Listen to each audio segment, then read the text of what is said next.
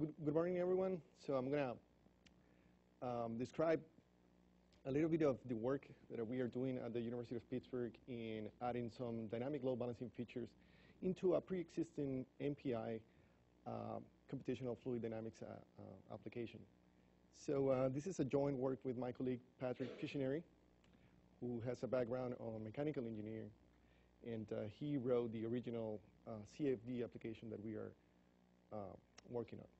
Okay, so um, a little bit about the, the uh, university where uh, I come from. So the University of Pittsburgh is a public university in the west of uh, Pennsylvania, and it has a good record of um, having some interest in, in, high performance computing. The Pittsburgh Supercomputing Center is one of the original NSF HPC centers in the country. Um, and it's a joint venture between the university and CMU and, and Westinghouse.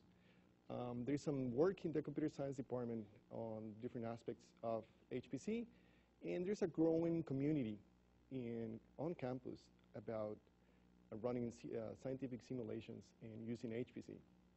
Uh, what you see here on the, on the background is the uh, Cathedral of Learning, the main building of the, uh, of the, uh, of the university. It's the tallest academic building in the U.S., and it's, this is actually a, uh, kind of a misleading picture. Uh, Pittsburgh is a very cloudy city. It's the top three most cloudy city. this is a rare view of the cathedral. But anyways, it's a beautiful building. Uh, I was saying there's a growing community of people uh, on campus working on, on, on simulations. And uh, in 2008, uh, the university created the Center for Simulation of Modeling. We call it SAM. Um, currently, it employs a few people, among them five of us, five HPC researchers, consultants. Uh, our mission is uh, threefold. We try to educate people, uh, do our own research, and, and also we maintain the software stack of our own supercomputer, which is called Frank. It is, it's a relatively small supercomputer. It has 8,000 cores, uh, but it's very, very uh, busy. Last year, it had 91% uh, utilization, and I guess the the rest was just downtime of, of some, of the, uh, some of the nodes. Uh, Frank is named after um, a professor in the, of the university, Henry Frank. But it's also a good name because it's, it's, a, it's a Frankenstein cluster. It's, uh, because of the investor model that we have, it's completely heterogeneous. Uh, the largest partition probably has 500 uh, cores, which are homogeneous. nevertheless, we have around 500, uh, more than 500 active users uh, that come from different field sciences, uh, uh the healthcare, uh, or, um, medicine and public health school, and engineering. And one of the start, start uh, users of the cluster is a professor in uh, mechanical engineering, and he developed an application that uh, tries to model uh, turbulent uh, reactive flows, and, and Martin uh, actually described the, some of the methods. So if you want to model these type of flows, you can directly solve the equations, the, the Navier-Stokes equations using DNS, or you can model some of the small time scale factors, and that's uh, that's known as Martin explained as, as uh, LES. Or you can use uh, another method uh, that actually models the rest of the equations. The point is that as you go and add more models uh, to the equations, you lose some, some, some accuracy in the, uh, in the simulation. So um, the IPLM CFD application actually uses a particular technique called the filter density function to implement LES. LES is um, a very popular method that uh, actually uh, it's tractable and at the same time it retains a lot of uh, ac accuracy in the, in the simulation. So this application was written to model the, these type of flows and a salient feature is that it has a loading balance.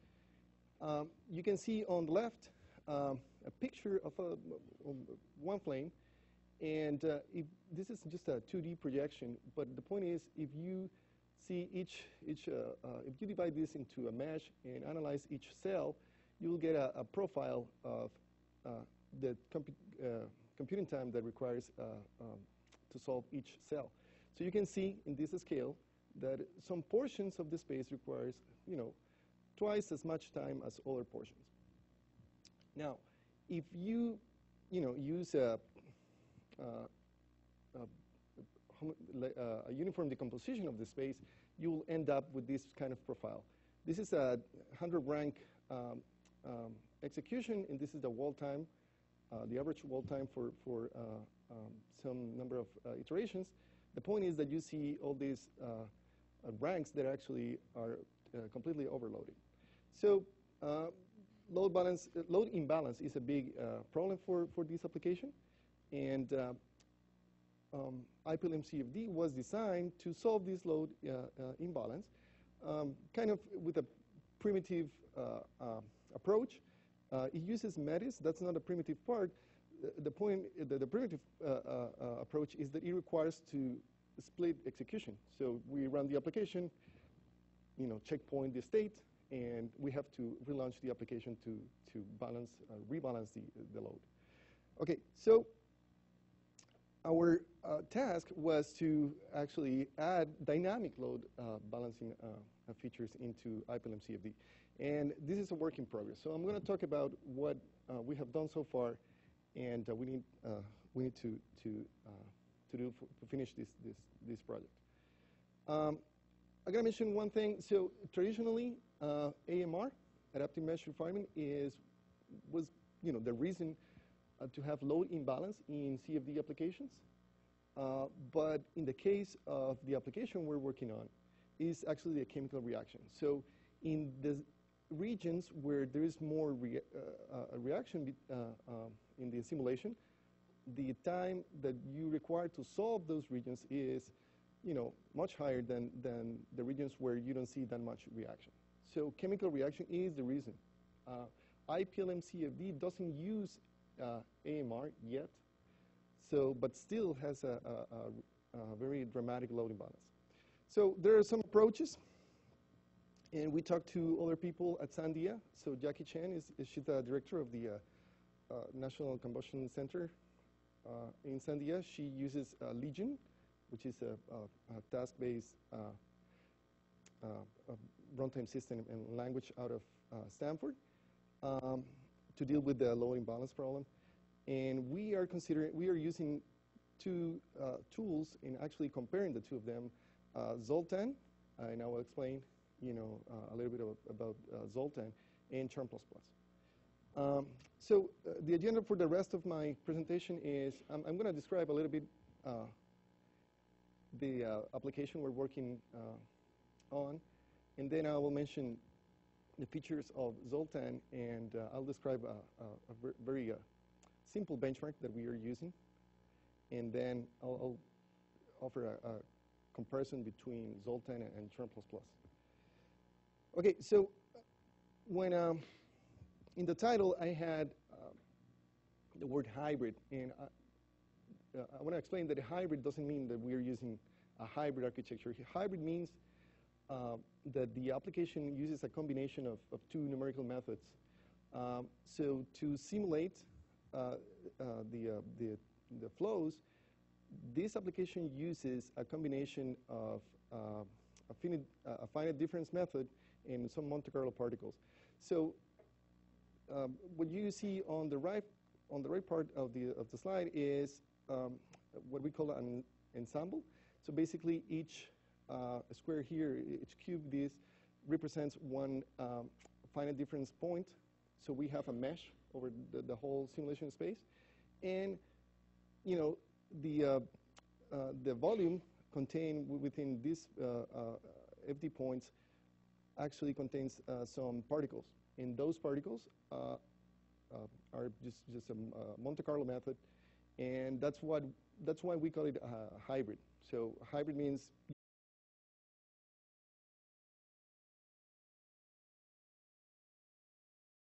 your callback functions every time you, uh, you need to serialize an object or you need to call the load balancer.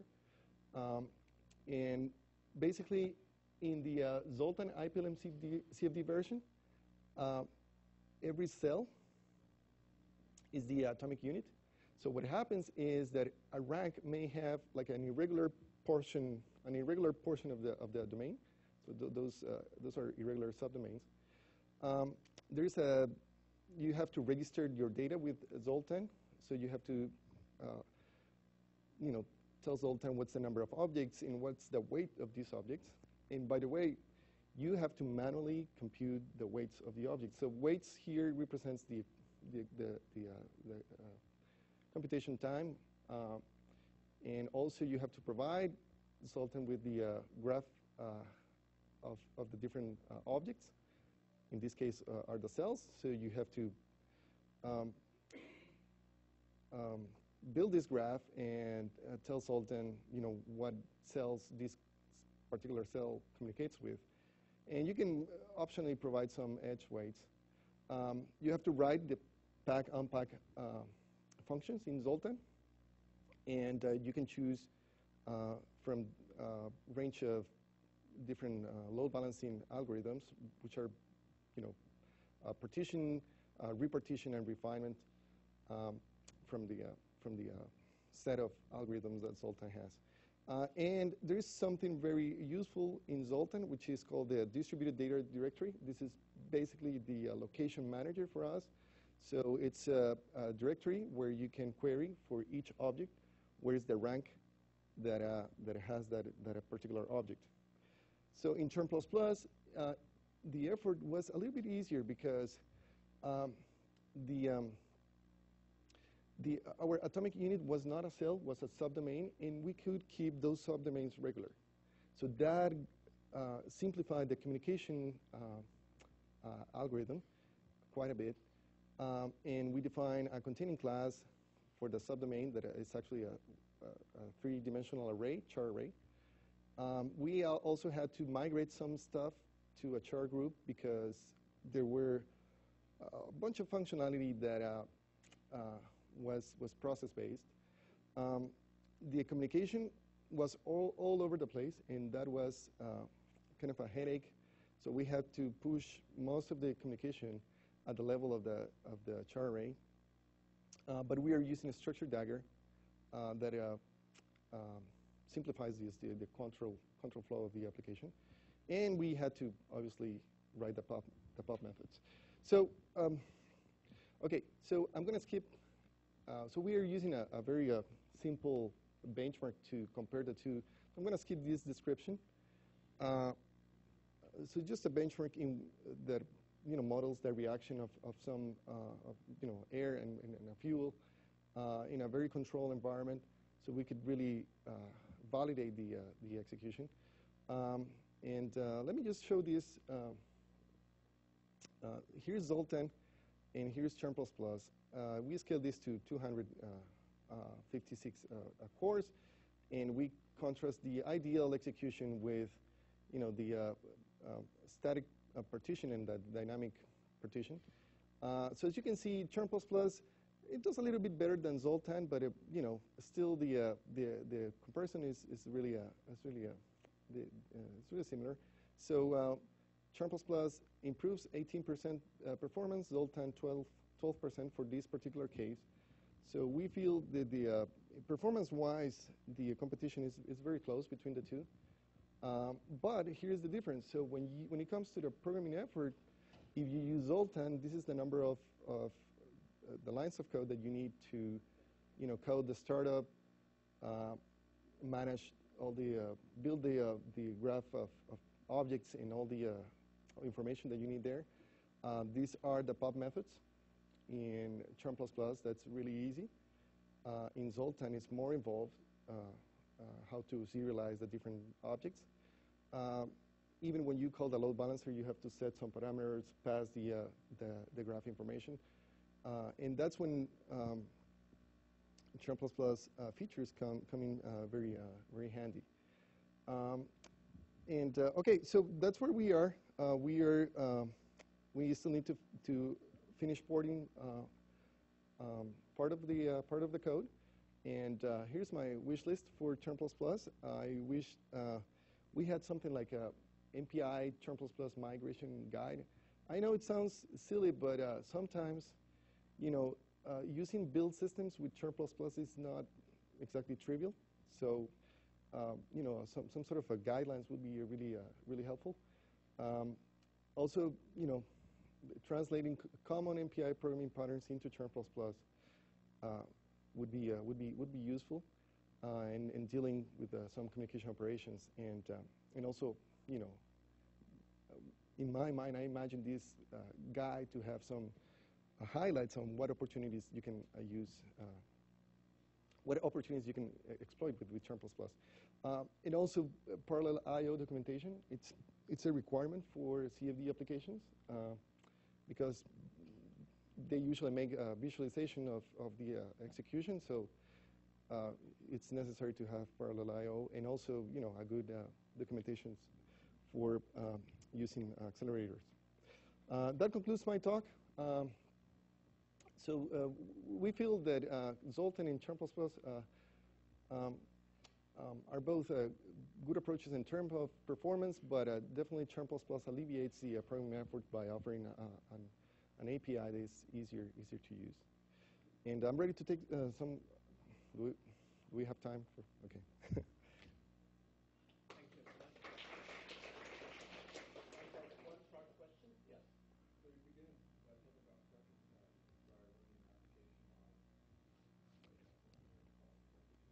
No, no, not really. So the experiments that we have were, were run on Stampede, but uh, but yeah. So I, I, guess part of the uh, what we want to do is to really port this onto Frank, and really you know have the load the load balancer deal with the uh, heteroge heterogeneity of the uh, of the architecture.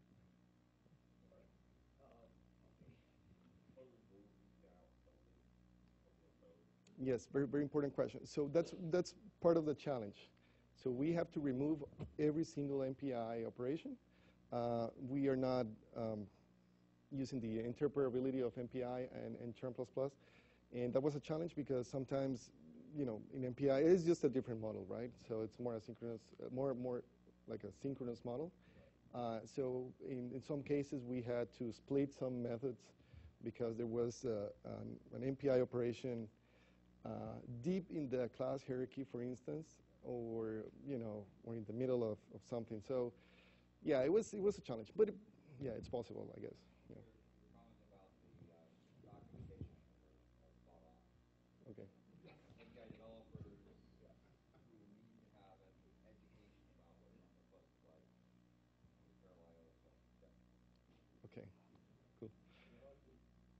Okay, cool.